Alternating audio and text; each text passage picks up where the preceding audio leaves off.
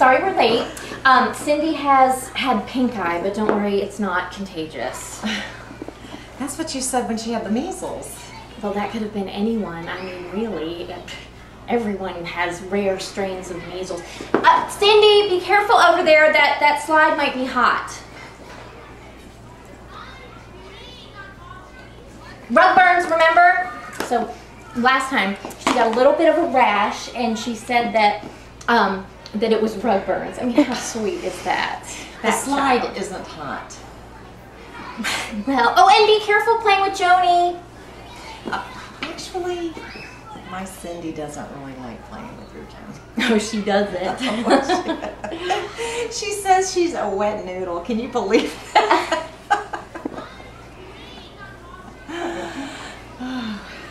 Uh, actually, I've been needing to talk to you about something. Um, all the kids are saying that Cindy smells like pee. Oh. Well, you know kids. I mean, I just thought it was something you might want to explore. Thank you.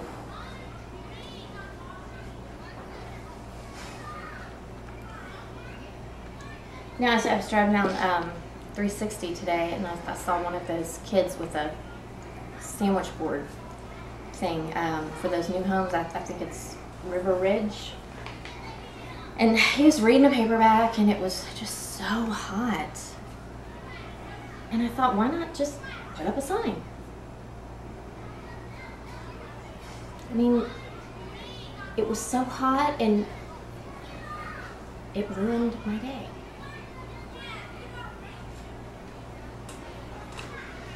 I just, I don't get people. And she doesn't smell like pee.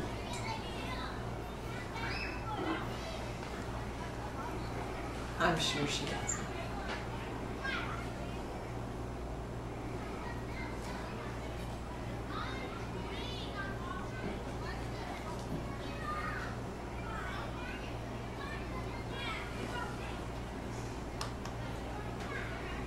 And cut. Nice. That's what I like y'all to do.